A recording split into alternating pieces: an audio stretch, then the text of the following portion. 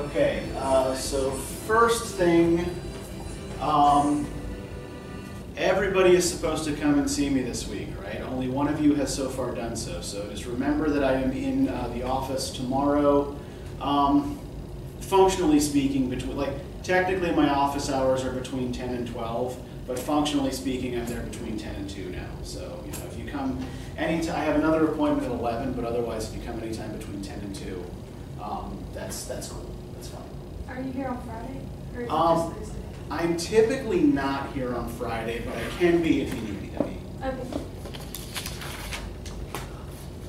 Um, although this, this Friday is a little, this Friday is a little dodgy. I could probably be here afternoon. Um, I have to, uh, I have to take my dog in for a shot. Oh. Yeah, yeah. It's, it's, it's, it's just an allergy shot. It's, she's fine. It's just, but she, she's not gonna be happy. It's always so sad taking dogs to the vet. Yeah. So uh, while we're here, does anybody have any questions about upcoming assignments that I can answer for you?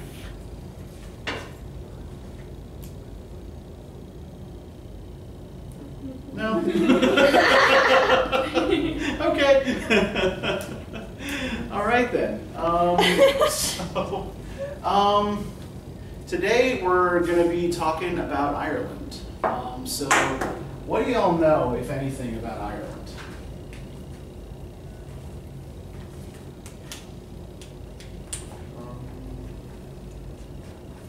They're the ones with like St. Patrick's Day.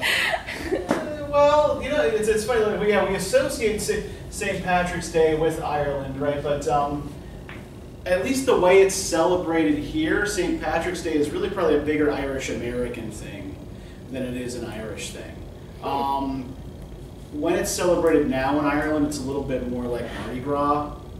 Um, like the universities, the, the university art students make big floats in Dublin, and you know, they, there, there, there's a parade down the street, but it's it's not um, like you see fewer like markers of a specifically like Irish cultural identity in actual Irish St. Patrick's Day. So okay, so we know about St. St. Patrick's Day. We are aware that Ireland is a vaguely potato-shaped island um, about the size of New Jersey in the North Atlantic, right? I mean, Oh, go ahead.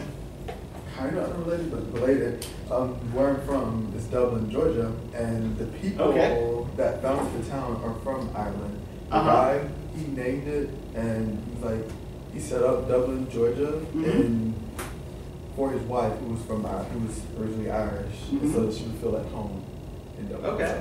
That's Yeah. I know about Ireland. All right. And yeah, that's interesting too because that, like Georgia isn't a state that has a big history of Irish immigration, right? When we think of like Irish immigration, we're looking kind of more at like the Northeast and the Upper Midwest, right? That's where we see a lot of um, the Irish ending up uh, when they come to the U.S.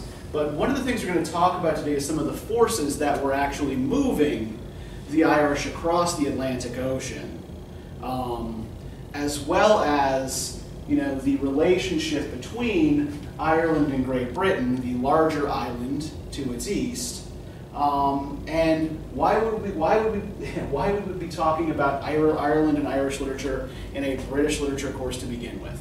I'll give you the short answer to that.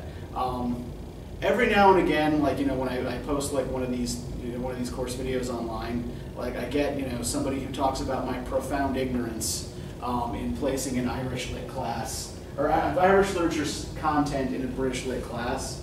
Um, most of those people are nationalists, like hardcore Irish nationalists, um, who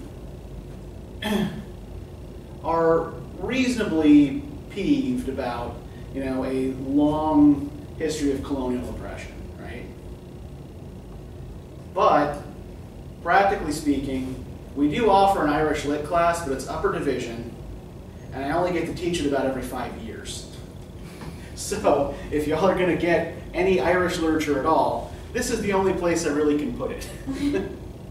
Not to mention that Irish writers, particularly of the early 20th century, uh, you know, writers like um, W.B. Yeats and James Joyce, have a profound influence on English language literature more broadly.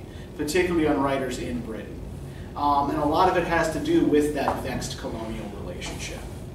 Okay, so let's kind of figure out here where we can place that relationship uh, historically. Um, it goes back a really long way. In fact, there was no unified political entity called Ireland prior to about the 18th century. Um, you had four, sometimes five kingdoms in various parts of the island, divided up more or less thusly. Right, you had Ulster in the north, Leinster in the east, Munster in the south, and Connaught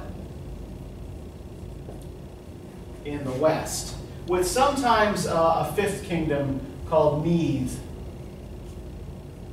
kind of in the middle. But Meath didn't always exist. It's not always clear, like, kind of where Meath begins and Leinster ends historically?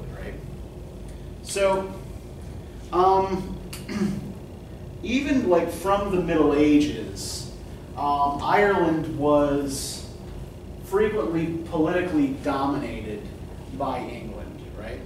Um, in the 12th century, um, a group of English knights, specifically Norman knights, um, come over from England and um, stake out territorial claims in Ireland.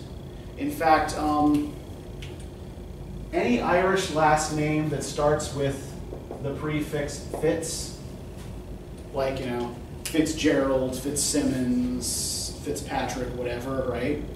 That's actually a Norman name. So that indicates Norman French ancestry. And so these people set themselves up as the island nobility. And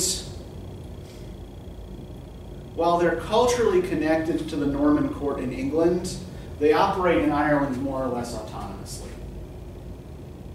And they kind of become accustomed to um, having their own way um, in Ireland. Now, by the 16th century,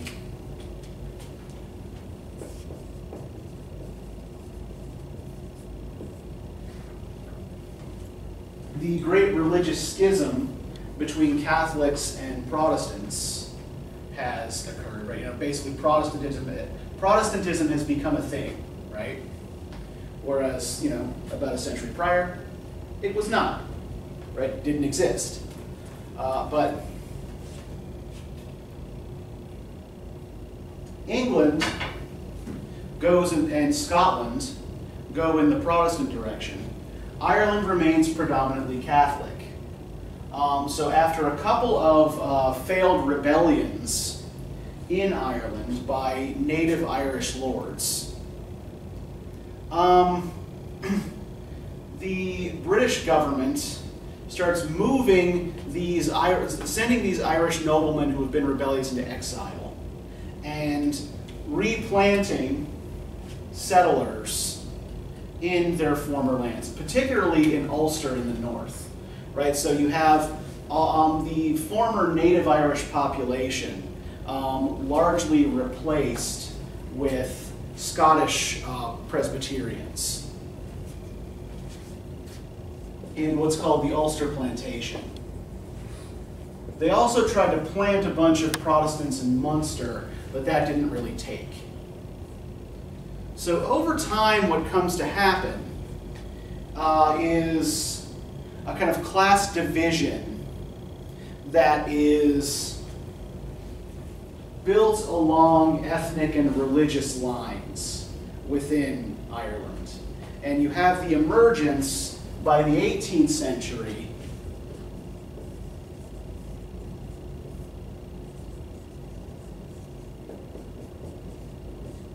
of a group called the Anglo-Irish. So Anglo-Irish, it should be fairly easy to figure out what that means, right? So what, what would you think an Anglo-Irish person is? Like, what would you think that indicates about them? If someone is Anglo-Irish, about their ethnicity. Anglo-Saxon and Irish. So from England, well, of England and Irish. Exa- yeah, more or less. Yeah. So an Anglo-Irish person is an Irish person of English descent, right? Yes. So the Anglo-Irish largely make up the landowning class.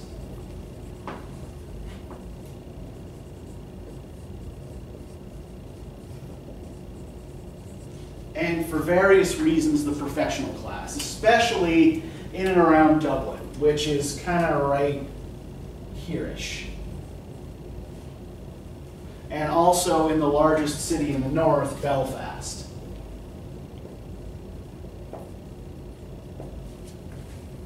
Which is otherwise largely working class and uh, you know filled with uh, Protestants of largely Scottish descent.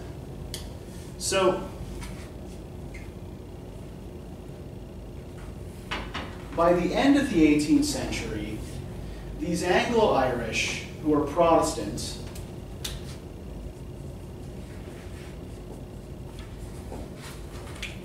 along with several educated Catholic Irish become very much influenced by Enlightenment philosophical ideals, right?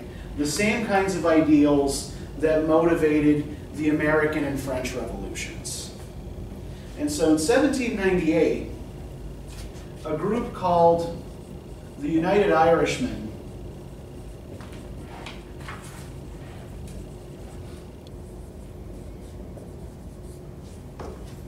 stage what is still in Ireland referred to as a rising rather than a revolution. Right? Because if we think back to the original meaning of the word revolution, right, a return to a point of origin, rising, that is the people rising up against an oppressive government, right, is probably actually a more accurate descriptor of what's happening. Uh, but so yeah, so the, the, United Irishmen stage a rising across Ireland. Um, and again, like I think it's worth stressing that what unites these guys is their philosophical ideals, right? You know, they're reading um, Rousseau, they're reading Voltaire, they're reading these French philosophers who are talking about um, putting power back into the hands of the people, right? You know, and um, out of the hands of, you know, say, you know, a monarch or the clergy. Um, and this rising is pretty brutally put down.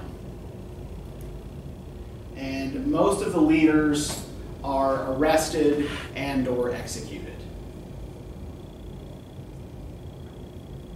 Some of them uh, go on hunger strike in prison and um, end up starving to death.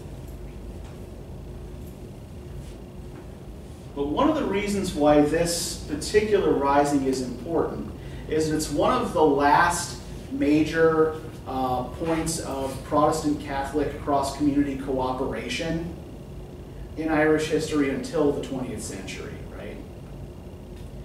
And after this rising, in fact, in 1800,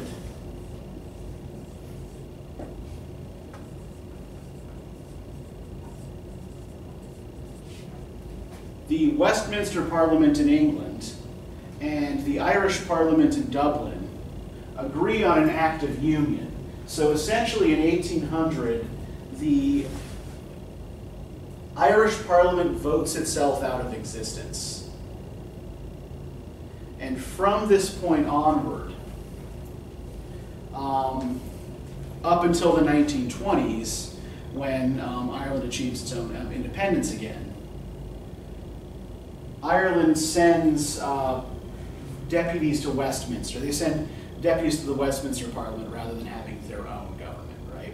So this, from this point, Ireland is fully incorporated into the United Kingdom, as opposed to just being a kind of separate entity that happens to be ruled by the same monarch. Okay, everybody with me so far? Any questions? Yes, the left kingdom. Uh-huh. Ulster, what is that? Is that Connecticut? No, uh, Connacht. C O N N A C H T. Apologies for my terrible handwriting.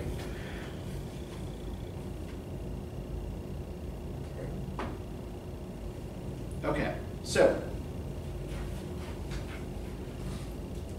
Ireland, um, in part due to religious chauvinism, um, in part due to comparative poverty, um, is always a real kind of junior partner in the United Kingdom.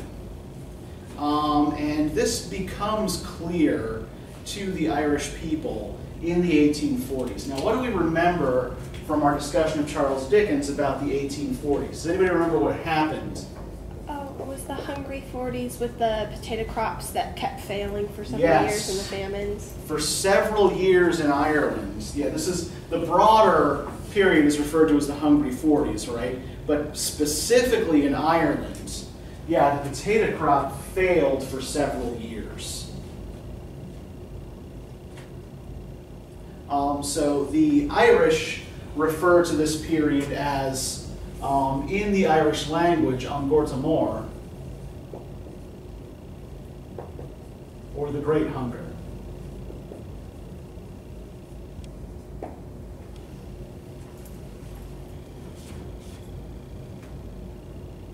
And um, there's a lot of seething anger against the British government in Ireland during and after this period because they feel that Parliament could have done more to help than it did. The Parliament in the 1840s was very much devoted to free market ideology, right? And kind of like trusted the invisible hand of the market to simply correct things and just step in and fix it all, right? So, well, we're in a period of depression right now, but you know, boom and bust cycles, that's capitalism, right? Meanwhile, um, you know, Irish people are starving to death. So, the death toll from the Great Hunger is actually not as high as the emigration toll. The big effect of this on the Irish population is to shrink the population substantially. In particular, the poorest classes of the, uh, of the Irish, basically um, people who were like very like subsistence farmers. Um, emigrate, you know, if they don't die, then they emigrate in large numbers uh, to England, that was the biggest destination, to the United States, or to Australia. So there's a great loss of population. And it won't be until the 1990s that Ireland again like becomes a net um, a net importer of people rather than an exporter of people. And as discontent with British rule grows, and as these Irish diaspora communities form outside of Ireland, we also witness a growth in nationalism. So, I know that um, some of you are taking or have taken government, right?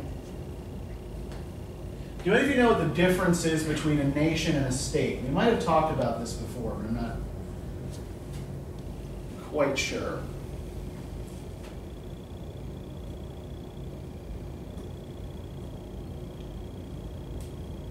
All right, I will take your silence to mean no. okay, so a state refers to a political body, right? A set of political institutions um, that is administered by a government, right?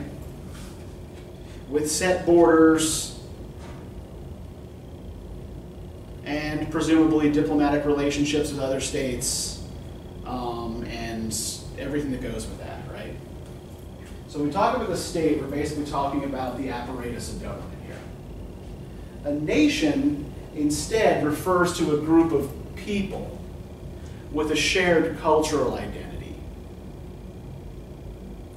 Now, prior to the 19th century, um, which was, as we, as we know, like an, you know, an age of empires, most people's sense of belonging didn't really extend much beyond the boundaries of their village if they lived in the country, or their neighborhood if they lived in a city.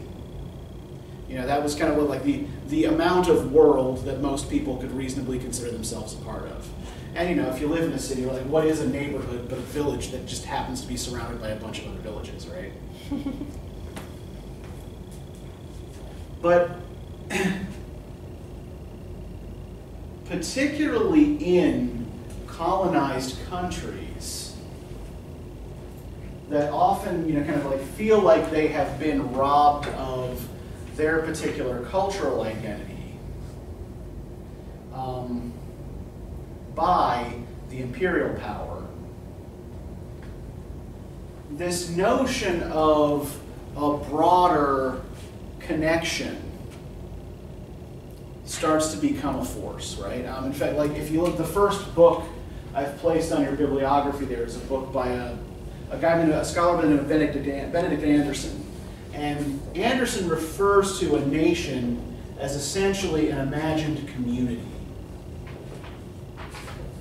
Right? So you start to come to an understanding, or a belief anyway, that you know you share a language, a history, and a set of cultural uh, habits or institutions with a broader group of people, right, than just those who live in your village. And so, in the 18th and 19th centuries, we start seeing the development of what's called a nation state, right? Where who belongs as a citizen of the state is at least in part determined by whether they are also part of the nation, right? Part of this broader shared cultural heritage or ethnic heritage, right?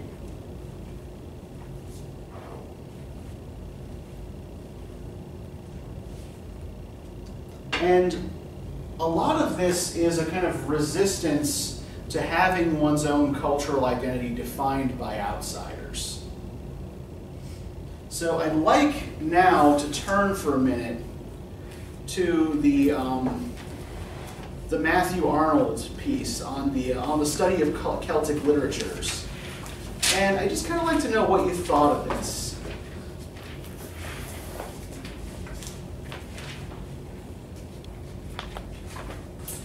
Starts on page uh, 693.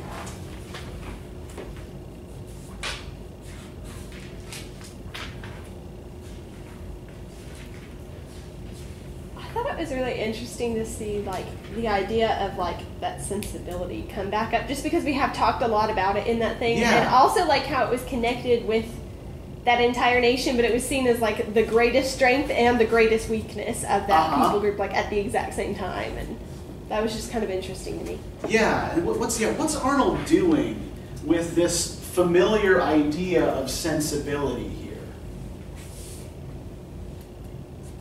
How is he connecting it to this particular national identity, right? What what he calls the Celts, right? If we look at the way Arnold, Matthew Arnold describes the Celts, what features does he ascribe to this group of people? They have an enthusiasm for learning. Okay, yeah. They have yeah, enthusiasm for learning. But what are they unable to do with that learning, according to Arnold?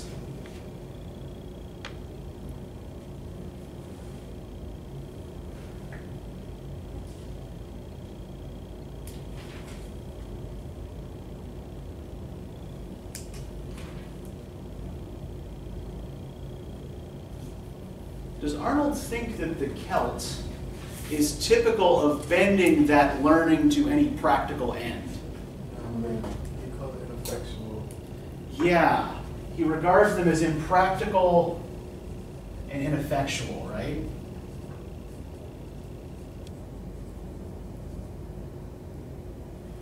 I know when I was reading this, it just seemed a bit like he was infantilizing them a little bit. Okay, yeah, explain. Um, by the way he kept describing them, it's almost as if, as if he was, um, especially like mentioning of like chivalry and romance and things like Uh-huh. that, as if he was treating it um, the way 17 and 18, 19, 18 and 19th century men treated women like dainty. They're so dainty and be gentle with them. Yeah, they know fact- things, but they don't know how powerful they can be. Yeah, in fact, he refers to the Celt as feminine, right? Right. Yeah. And when you're talking about chivalry and that sort of thing, like, does he seem to think that the Celts' um, sensibility kind of belongs to the present and future or to the past? Does he seem to associate these people more with the present or with the past? The past. It's, hmm Yeah, he seems to that that these are people whose day is basically over, right? That time has passed them by. I assume he was doing that, especially since he brought up sensibility. I thought it was like Uh-huh. trying to tie them back to like a dated um, idea Yeah. of them being like obviously the romantic period and the sensibility, like them Yeah, sens- sensibility is a late 18th century idea, right? So yeah, by, by the time Arnold is writing, it's a, yeah, it's a little outdated, Right. sure. But tying them even, you know, to things like chivalry and romance, right? Like specifically referring to kind of medieval concepts. What else does he say about Celts here?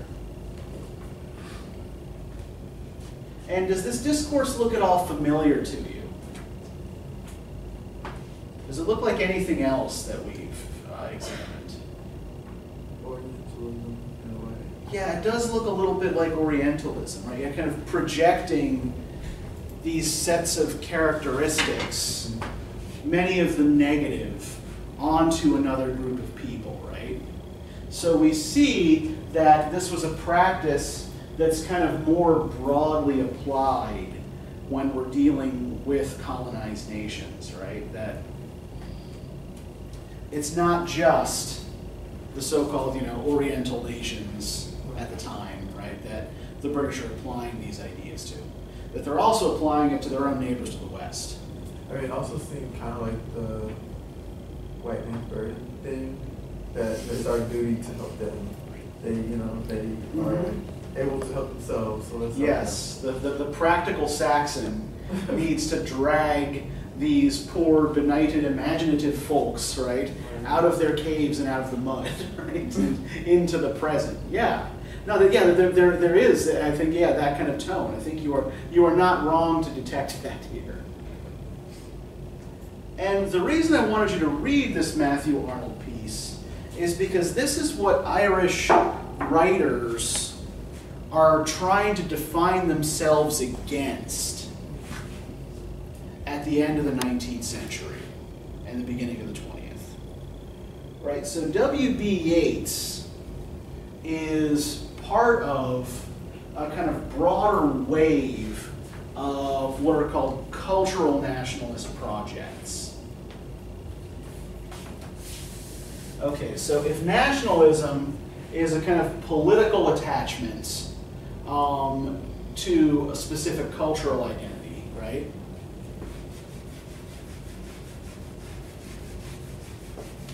Then what might cultural nationalism be?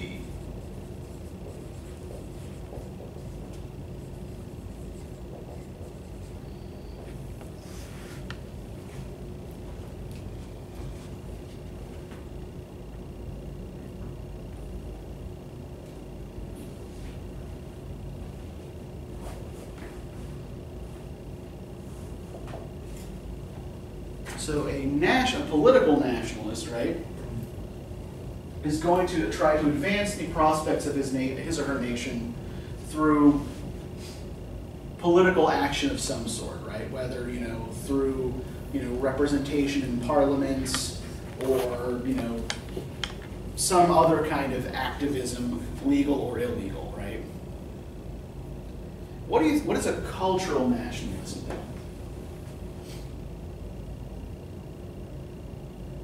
Someone who would try to advance their teaching, learning, Mhm. um, style of living. Um, I guess more the social part, so like etiquette, manners, Mhm. things that way. Um, Mhm. Arts. Architecture, Art, arts. architecture, yeah, essentially, yeah, like it's an attempt, yeah, to set the parameters of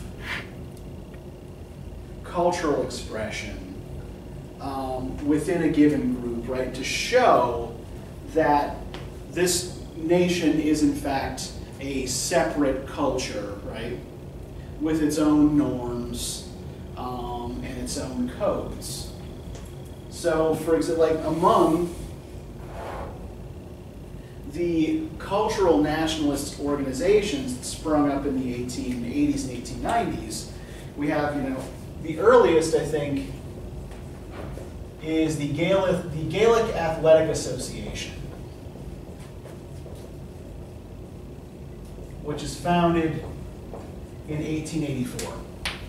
So the GAA encouraged Irish people to stop playing field hockey, soccer, and rugby, and instead to play uh, a traditional Irish sport called hurling, which is kind of like a cross between field hockey and lacrosse. Right, essentially, like you know, you've got these sticks and a ball, and you're trying to get the ball into a net. Uh, but the uh, the sticks have a kind of groove at the end that you catch the ball in, right? So it's not a net like lacrosse, but you know the the action is kind of similar. What's the name of the sport? The sport is called hurling, Or and then as a substitute for rugby, they basically invent a sport called Gaelic football that is pretty similar to rugby in most respects, but with slight with with some slight revisions to the rules, right? But yeah, essentially what they're trying to show is that you know that this particular form of cultural expression, right, sport, is different in Ireland, right? That they have their own sport traditions. Um, in 1893.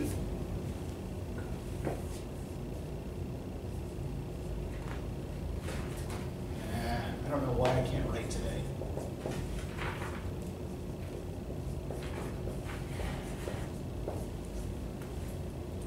A folklorist um, and linguist by the name of Douglas Hyde uh, helps to found a group called the Gaelic League. And what the Gaelic League does is promote instruction in the Irish language. Now, by the 1890s, there weren't that many speakers of Irish left. In fact, the, uh, the Great Hunger in the 1840s had done away with the vast majority of Irish speakers, either through um, you know, death or immigration, right? Because Irish speakers tended to be the poorest segment of the population, and thus the most vulnerable to starvation. So what Hyde instead did was teach Irish to the rising Catholic middle class, particularly in cities like Dublin and Cork.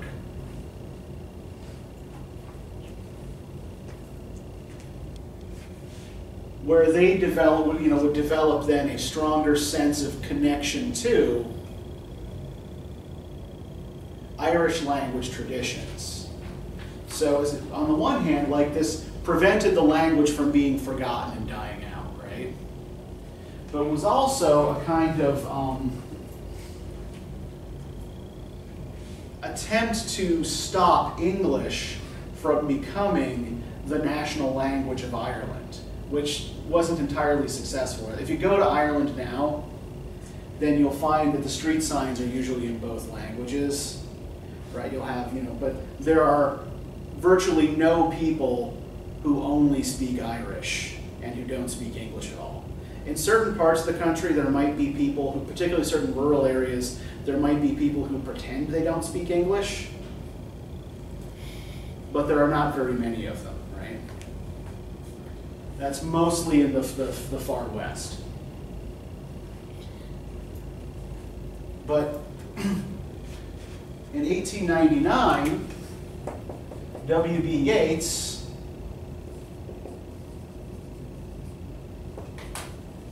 was one of the co-founders with Lady Gregory and Edward Martyn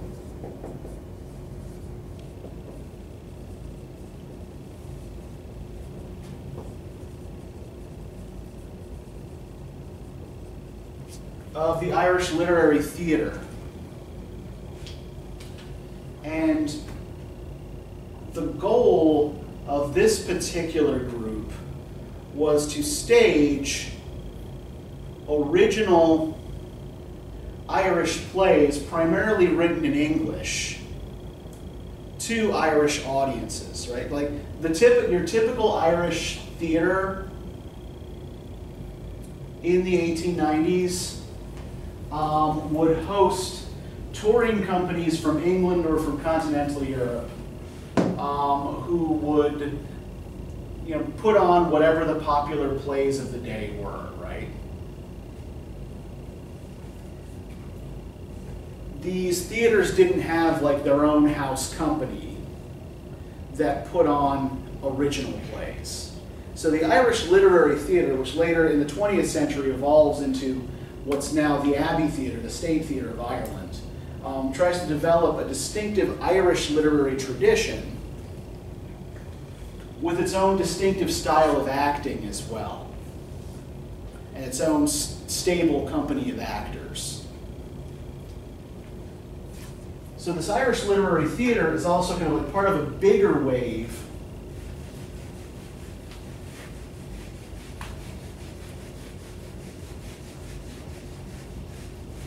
that we now refer to as the Irish Literary Revival.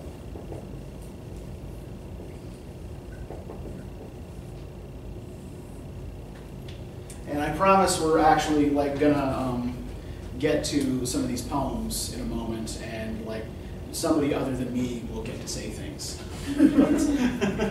but there's a lot of background material here that I think everybody needs before we can really dig into this stuff. So, this Irish literary revival begins in the 1880s and kind of comes in two waves. We'll talk about the second wave next time. But for today, it's important for us to understand what this early wave looked like. So, the first element that we tend to see in works of this movement are references to Irish folklore and mythology. So you may have noticed a lot of this kind of thing in the Yeats poems that you read for today. There's also a lot of celebration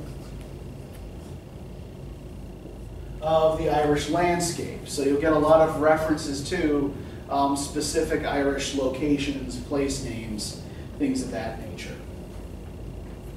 Um, and you will also typically see glorification of the rural West.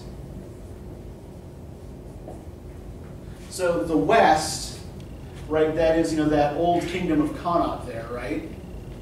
Uh, being predominantly rural and predominantly Irish speaking, was regarded by a lot of these revivalists as the true Ireland, right? That this was the real heart of the country. Um, this was where Irishness could actually be kind of physically located, right? So the further west you went in Ireland, according to this line of thinking, the more Irish things got. So even though practically all of the writers involved with this movement are educated, often Anglo-Irish Dubliners, there's this romanticization of the rural Western landscape. Um, that um, permeates their work. And the other thing they tend to celebrate is peasant culture, or at least a version of it. So one of the things I put on your bibliography is an article by a guy by the name of Edward Hirsch called The Imaginary Irish Peasant. And I want to preface this by saying that other critics have contested Hirsch's arguments here, right? But one of the things that Hirsch argues is that these essentially middle class writers find it really useful to create this kind of ideal rural, like, you know, rural peasants in their work as um, something to project their ideas of Irishness on, right? So you will often see a kind of uncritical celebration of rural life and peasant culture in early works of the Irish literary revival. Now, somebody like W.B. Yeats, so Yeats is, well, Yeats lives most of his life in Dublin, but also spends a good bit of time in London, and as a child spent a lot of times in Sligo in the West. Um, but he's a middle class kid who probably wouldn't know a real peasant if one walked up and bit him on the ass. Nonetheless, he's fascinated by, you know, peasant folk tales and folklore and stories about the sixth sense and fairies and the evil eye and Irish mythology and like kind of like all of this kind of native supernatural material, right? In fact, this is one of the vaguely embarrassing things about Yeats for a lot of Yeats scholars. Um, so, in the late 19th century, a lot of people experimented with alternative with alternative religions, right? You know, particularly like alternatives to conventional Christianity. Yeats's particular expression of this uh, was to think he was a wizard. Uh, yeah. so he belonged to a group that was kind of modeled on Freemasonry, but like Freemasonry plus wizard shit, um, called the Hermetic Order of the Golden Dawn. And you know, they wore a lab. They would you know gather um, at their chapter house in London, and they would wear elaborate robes and give each other Latin nicknames and perform ceremonial magic. Towards what end, I don't really know. they, they thought, you know, they thought it was working, right? But you know, but it, it was like part of a kind of genuine seeking for spirituality in a world that I think for a lot of people, particularly a lot of middle class educated professionals, seemed void of it, right? But yeah, so yes, Yeats Yeats thought he was a wizard. So that's kind of the Anywho, moving right along here. Um, let's actually try to dig into some of these poems. And um, we may end up talking about other influences on these, but I'm most interested in trying to um, connect this to this specifically Irish history and Irish folklore. So, what did you think of these poems? I mean, I thought it was interesting how he's speaking in English, but he definitely has that like Irishy tone, like in the beginning when he's saying "Where dips the rocky highland," like that's a Uh huh. like, you know what I'm saying? Yeah, yeah. I, I think there are there are some scholars who argue that Yeats and a lot of other Irish writers of the period um, try to adopt something like an Irish. So word order is different in the Irish language than it is in um, uh, in English, right? So, like for example, um, if you know wh- where you would say in English, "I am going to the store," the Irish equivalent of that phrase would uh, translate directly, "It is to the store that I am going." Right, just because like like the the way the verb forms work and you know the way sentence structure works is different. And yeah, there are some crit- there are some critics who argue that Yeats and other writers try to imitate um, those Irish language uh, sentence structures. I don't think that's what's going on with Yeats because Yeats didn't speak Irish. So Yeats is Anglo-Irish. So he is an Irish person of English descent, but he is an Anglo-Irish person who is completely fascinated by Irish history and folklore, and is certainly active, at least early in his life, in anti-colonial causes. So he's on the side of the Irish against the English to the extent that that's possible. Any other observations you'll have about these poems?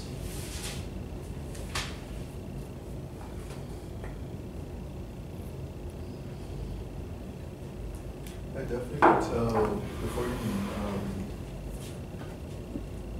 said it with the first wave about that Irish landscape, landscape, and I'm Uh-huh. having, um, loving or romanticizing the Irish landscape Mhm. in the the Man Who Dreamed Fairyland, he Yeah. mentions, he mentions multiple places in Sligo or Sligo, Sligo. Sligo. Sligo, yes. Sligo is in kind of like so. If you recall the map I drew, the very crappy map I drew on the board, right? So Sligo would be in kind of like that northish, westish corner of Connacht. So yeah, Sligo is in the west on the coast. I have been to Sligo. I have uh, seen Yeats's Yeats's grave in Sligo. The weird thing about Yeats's grave is, uh, guess where Mrs. Yeats is buried? Nowhere near it? At his feet. Oh. Yeah, that's a little strange, yeah. Okay. Is it just like a really crowded graveyard, or do you think that well, was it's, intentional? It's, it's, it's, it's, it's pretty small. Like I, I, I, I, I have to. I, I don't know. It's just a, it's a strange observation. like, huh, that's weird.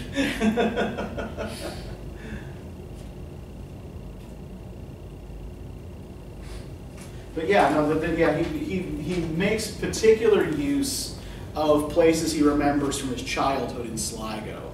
So yeah, like in The Man Who Dreamed of Fairyland, all of these villages are in Sligo. Um, Glencar, the waterfall he mentions in um, The Stolen Child, is in Sligo. Um, and uh, the other thing, let's see, um, Innisfree, the island that he mentions, is in the middle of a lake in Sligo. So particularly early in his career, he is very much like fascinated with this landscape of his childhood. Gonna say some of the tones of the poem. It seemed like, um, when he's writing this, you said this. This was kind of around the time when the idea of the child was being discussed, and so I can kind of tell that fairy tale and like childlike um, theme within some of the poems. Yeah, in particular, the stolen child, right?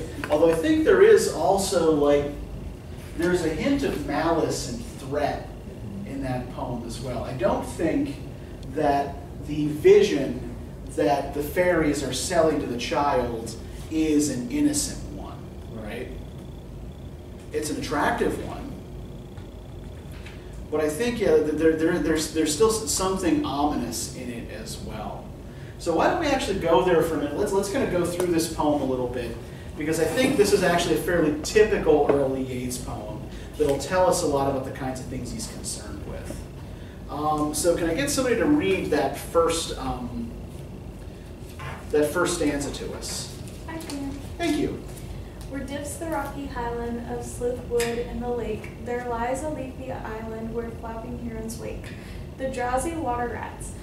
There, there we've hid our fairy vats, full of berries and of red stolen cherries. Come away, O human child, to the waters in the wild, with a fairy hand in hand, for the world's more full of weeping than you can understand. Okay, thank you. So, where do we want to start with this? what do you all notice in the stanza?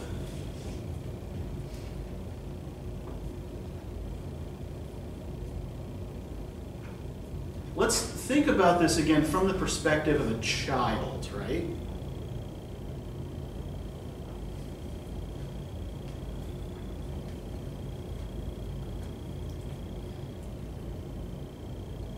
In some ways, like it could see it could seem like here's like a place where you could kind of explore like there's a highland and a lake and this Mhm. island and then they're like oh and look we have like these tasty looking fruits and like Uh-huh. all these sorts of things which like the berries would also be like pretty colorful so like Yeah. that generally attracts people too but i think it's Mhm. interesting with the how throughout the poem like it repeats for the world's more full of weeping than you can understand Uh-huh. and i'm wondering like since this kind of seems to be in that time frame with some of like the hunger and everything if maybe those berries was another thing like you might be weeping because you're hungry here but what we have is maybe this other food or something Yeah.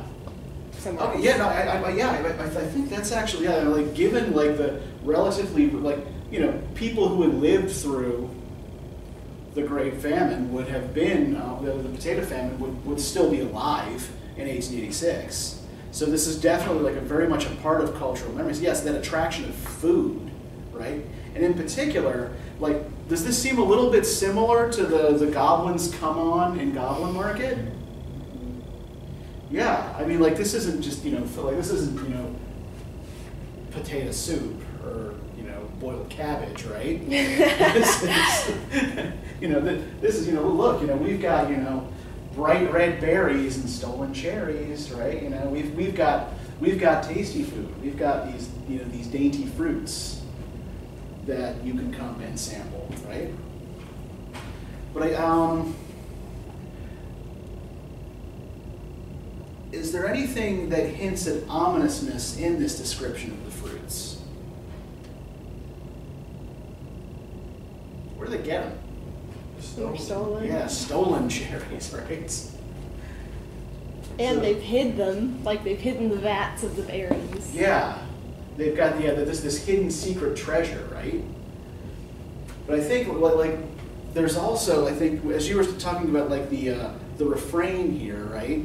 The world's more full of weeping than you can understand. So they're also playing here on the child's limited experience, right?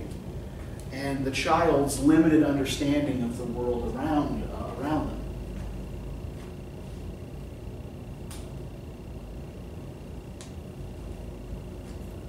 Now, can I get somebody to read the next stanza for us? Yes, I can. Go for it. Okay. Where the wave of moonlight glosses within gray sand of light, far off by fur- furthest rosses, we footed all the night. Weaving olden dances, moving hands and mingling glances, till the moon has taken flight. To and fro we lead, and chase our frothy bubbles, while the world is full of troubles, and is anxious in its sleep. Come away, O human child, to the waters and the wild, with the fairy hand in hand, for the world is more full of weeping than you can understand. Thank you. So let's take a minute here and think about like what kinds of activities we see the fairies engaging in here. What do they do and when do they do it? well i mean it talks about like them dancing Uh-huh. and at night Yeah, they dance at night. In fact, is there anything they seem not to do at night? so yeah, so they're yeah they're associated with night, right? Hmm. They dance, they leap. So what else can we say they're associated with? Like that, like not so good thought that they were talking on the goblin market, like everything bad happens at night. Like that's what I thought. okay, yeah, yeah, I think the, yeah, that's the, the, the, the there's like, like yeah, um, in Goblin Market we have that division between day and night, right? Where the day is for um, you know industry and you know kneading cakes and milking cows and you know uh, you know feeding the chickens and whatever, right? Um, and night is for sleep and dreams or for you know goblin nastiness, right? So I think, yeah, there is a similar division here. And the fairies occupy the nighttime, right?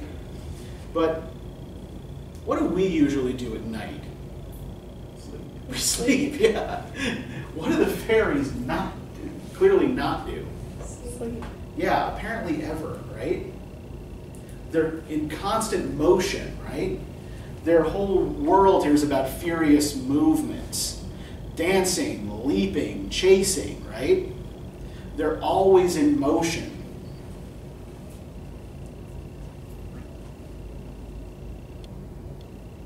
While the world is full of troubles and is anxious in its sleep.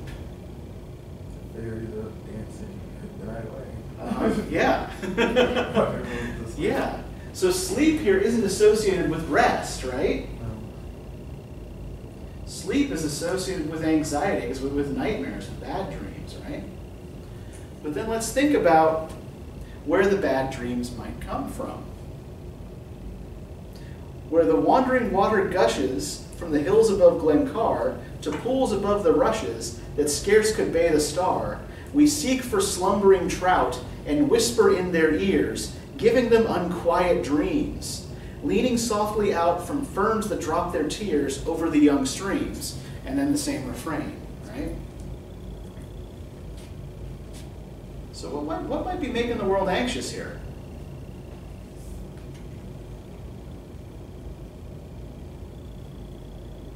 Or who might be making the world anxious here?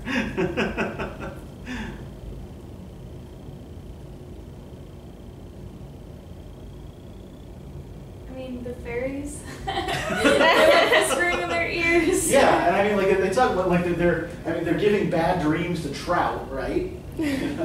Which I mean, do do trout even dream? Who knows, right? I, I certainly know my dog does because like you know she'll be curled up on her bed and start kicking and you know like it's this weird like like she's barking, but it's like this weird muffled bark. But yeah, so, so some animals we know do dream. Mm-hmm. But yeah, the fairies are the source of unquiet dreams for these slumbering trout, right? And is there something about that that maybe seems kind of mean? like this is, you know, not just innocent fun here. This is actually kind of a dick move.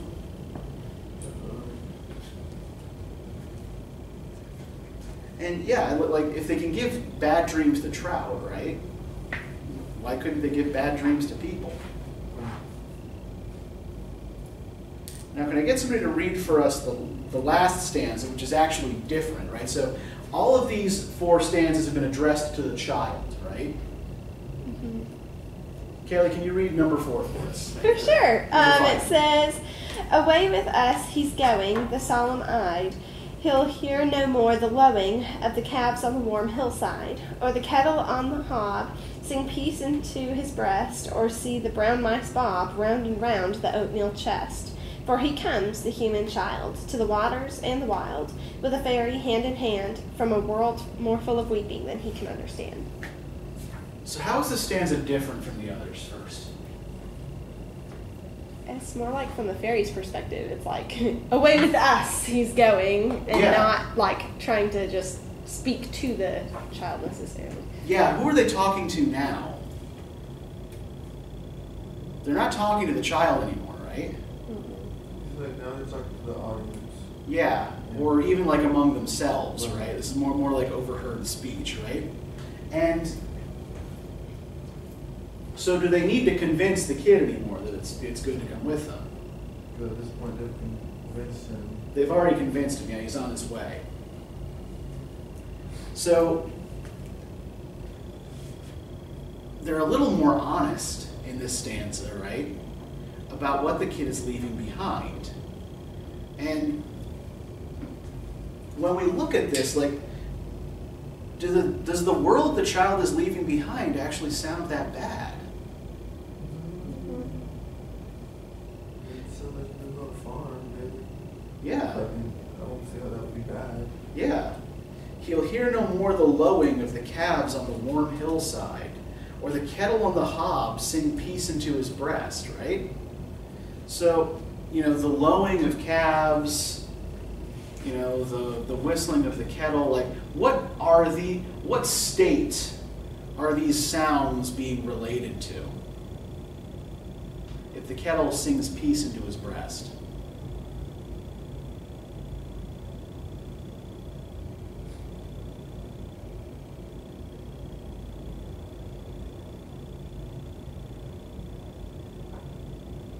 Is it like, I mean, when I think of a kettle, I think of tea. So is Uh-huh. it like England? That's what I'm thinking well, I mean, it, this this doesn't. I mean, I don't know that, it, that it's meant to evoke England, right, any more than it is to like.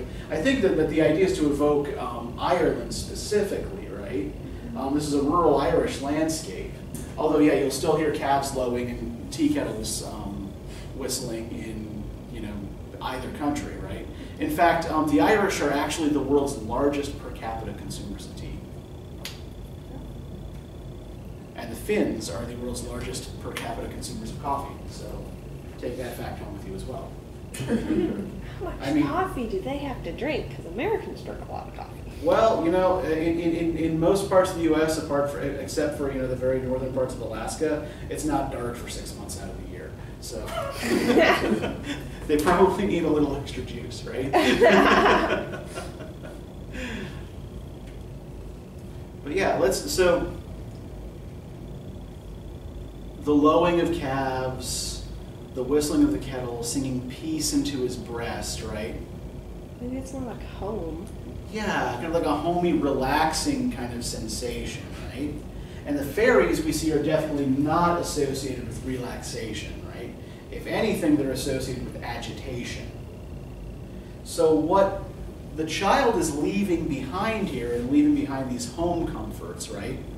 He's leaving behind, you know, peace and rest for a world of constant furious motion.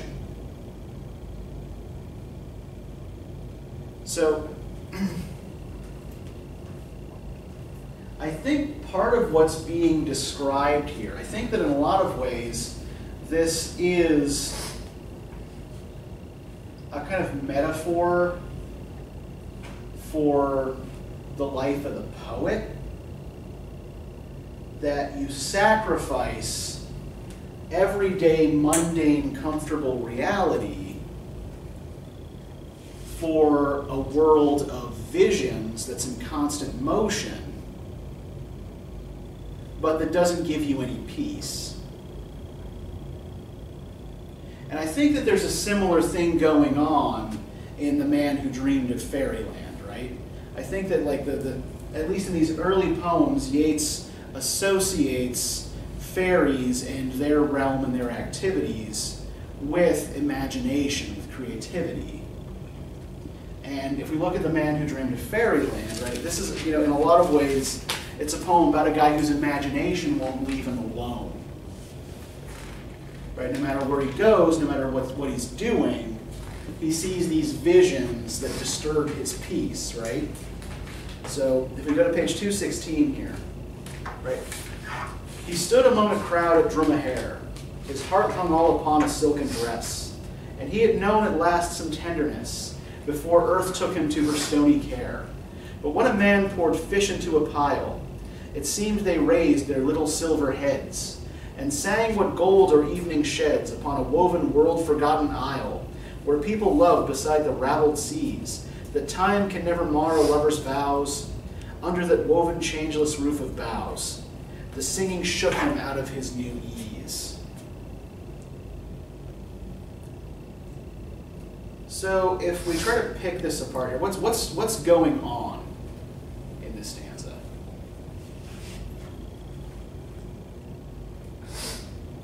What state do we find the man who's the subject of the poem in at the beginning of the stanza? And He kind of seems like he's dead because it says before Earth took him to her stony care, but Okay, then he yeah. definitely doesn't seem like he's dead at the end. So. Yeah, it, it, yeah. It, the, the poem is describing someone who is now dead. Yeah. Okay. Yeah. we'll, we'll get to the end of the poem in a minute. Yeah. But uh, In the first, it seems like you know he's in a crowd of people, but maybe is he? He's like fishing. he's not actually fishing. Like, let, us look. If we look at these, like his heart hung all upon a silken dress, and he had known at last some tenderness.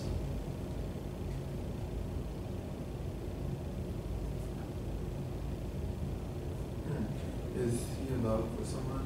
Is this about a romantic? Yes, this, Okay. yeah, it's about a romantic interest, and one that apparently probably gets in some way satisfied, right? Prior to his vision of the little fishes singing their song, right? And the singing shook him out of his new ease that whatever this tenderness is had brought him, right? So, you know, he's, he, he, he's, you know, walking through the village square, he's feeling pretty good about himself. And then suddenly this little pile of fishes starts singing to him. Right? so yeah, one, one, one could see where that might be disturbing. but let's kind of skip down here to the last stanza, in which right we you know the, the description is of you know a man who is clearly dead, right? So can I get somebody to read that for us? He slept under the hill of Lugnagall. Go for it. He slept under the hill of Lugnagall, and might have known at last unhaunted sleep. Under that cold and vapor turbid steep, now that the earth had taken man and all. Did not the worm despite about his bones proclaim that unwearied reed cry that God has laid his, has laid his fingers on the sky? That from those fingers glittering summer runs upon the dance of the dreamless wave.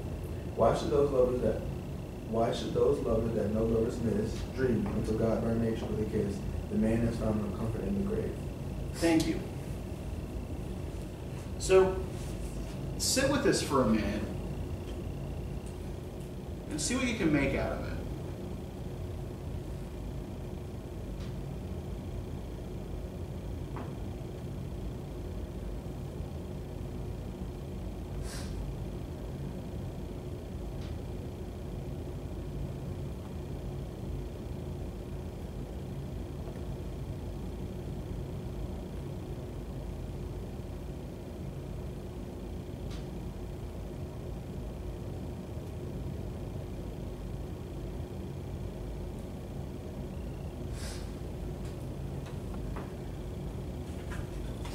In particular, if you can connect it back in some way to what's going on in the stolen child.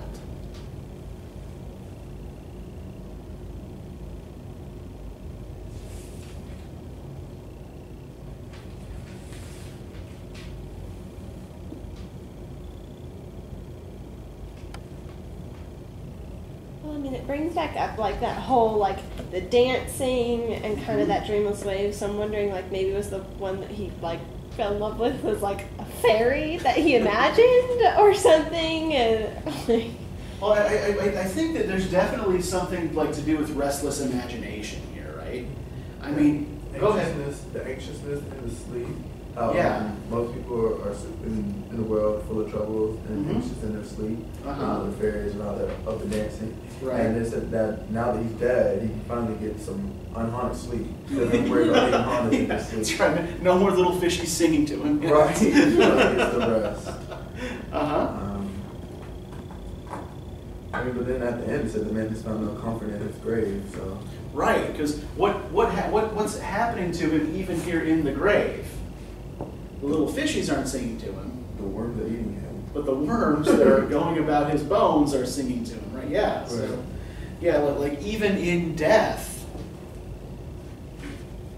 he finds no peace. And I think that again, like you know, the the the main point of contact between these two poems is that they are about the you know the peculiar form of agitation caused by poetic creativity or poetic vision, right?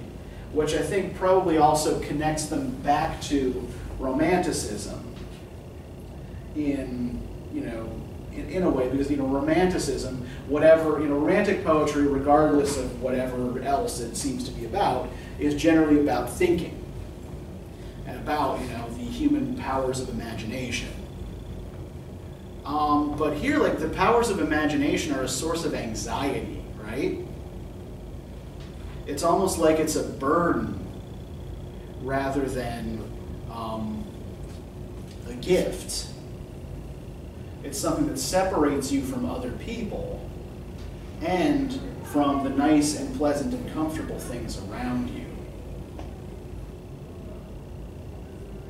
And so I think that we're, we started a little early, so we're about at a time here. So I think that this is actually something that connects some of these poems to the character of Gabriel Conroy in The Dead, which we're reading for next time.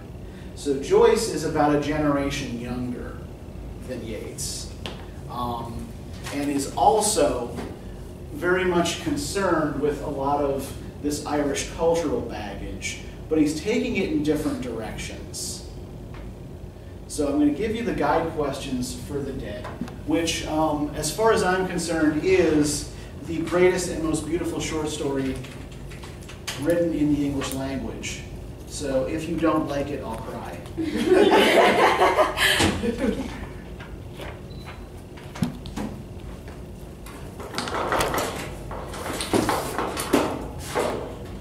and just remember to complete the vocab quiz by Sunday nights.